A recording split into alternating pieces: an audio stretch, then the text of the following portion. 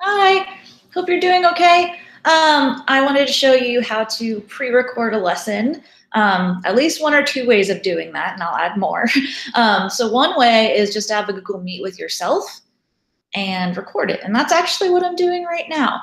Um, I opened a Google Meet session and then there's a record button on the side. I'm gonna quickly show you how to do that because I have that in another video.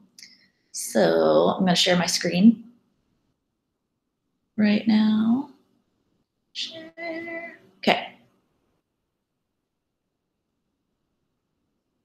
Okay, if you open your regular email, here we go.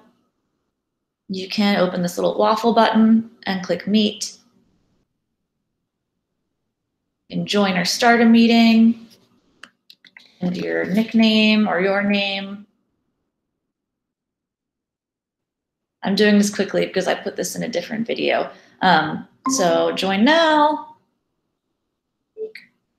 And then if you go to this little sidebar here, this more options, there'll be an option to record the meeting. Um, if you want to start recording, um, you can just open a Google Meet like that with yourself. Um, looks like it does right now and how this video looks, and you hit record meeting. Um, that's how I'm making this video. When you're done, you'll hit stop meet recording meeting. It's going to be in the same place. And then the video just automatically saves to your Google Drive folder. If you want to share your screen during this recording, like I'm doing, that's here. If you hit present now, you can either share your entire screen or just one window. Like if you have PowerPoint open or if you have Inspire Science open and you just want that window and not all of your tabs, um, you have either option. Okay, I'm gonna leave this one. Um, no, leave meeting, leave call, go. Okay, because there's another option that I wanna show you.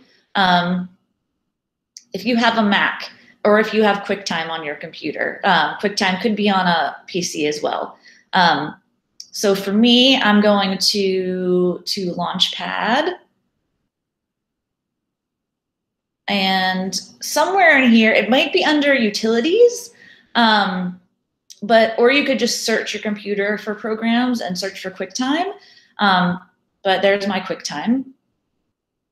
Ignore my desktop. Sorry about that. Uh, um, so once QuickTime is actually open, it's down here in the bottom, and then in the top here, um, you can click QuickTime, new screen recording, or audio or video movie recording. I've used screen recording before. That's what I wanted to show you. So new screen recording. This little thing will pop up. You can adjust like the volume um, sensitivity here. Oh, I don't want to do that because it'll echo. Um, but once you've adjusted the way you want, then you can decide which microphone to use. It says internal microphone. Show mouse clicks in recording. That means, I don't know if it'll do it. No, not now. Um, but that means if you click on something on your screen, it'll have a little circle around it just to make it more obvious.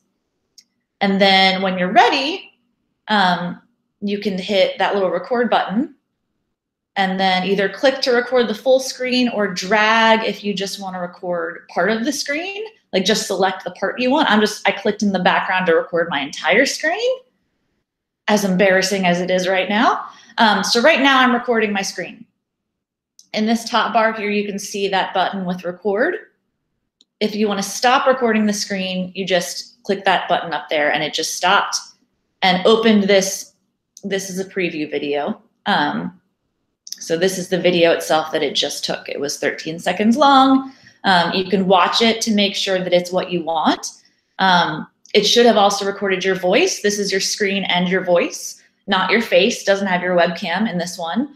Um, and so you can watch it. I'm not going to right now, but you can watch it. Um, if you're happy with it, then up here in that same menu in QuickTime, you should have an option to save. That'll save it to like your desktop or somewhere so you can upload it later. Um, you can also export it, and then that option makes it, if you want to make it a smaller video, like to save space, you can. Um, whenever I've done this, I've always just hit save, and then it saves it regular size, and then you can upload it somewhere later. Um, so that's pretty much it. I'm gonna go back to to where I was, and I think I'm gonna end this video because that's that's pretty much it for that one. Um, either Google Meet or QuickTime, I think, are the easiest ways to uh, pre-record a lesson if your screen is involved and you want to talk over it. So thank you. I'll upload another one to use Google Slides and some other options. So have a good day.